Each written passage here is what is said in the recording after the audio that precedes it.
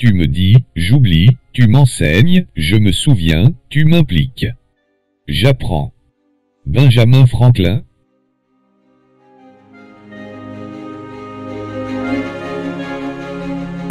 Cet aphorisme restitue à l'implication sa place de condition essentielle à un apprentissage significatif. L'implication traduit l'engagement d'un individu au sein d'une action et, en ce sens, résulte directement de la motivation qui se définit comme le processus incitant un individu à adopter un comportement, à poursuivre un objectif.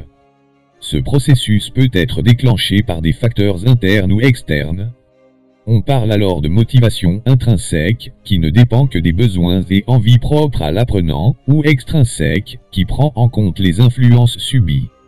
La motivation est largement conditionnée par l'assurance, l'estime de soi et le bénéfice escompté par un individu face à un comportement ou un but visé.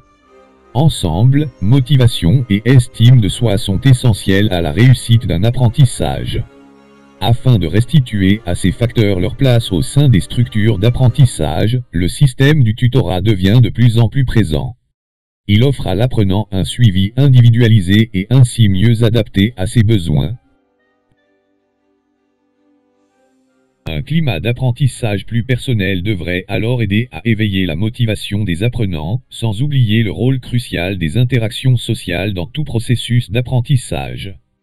La personnalisation ne doit pas conduire à l'isolation des apprenants. La motivation joue un rôle primordial dans la réussite des apprentissages, notamment la motivation intrinsèque. Tout individu apprend d'autant plus facilement qu'il le fait pour lui-même, avec l'envie de comprendre. Bien qu'il soit difficile, à l'heure actuelle, d'imaginer une approche éducative ciblant plus cette motivation intrinsèque que celle centrée sur des systèmes de punition-récompense, la carotte et le bâton. Le bénéfice d'une telle approche serait tel qu'il est primordial que la recherche s'oriente vers ce domaine,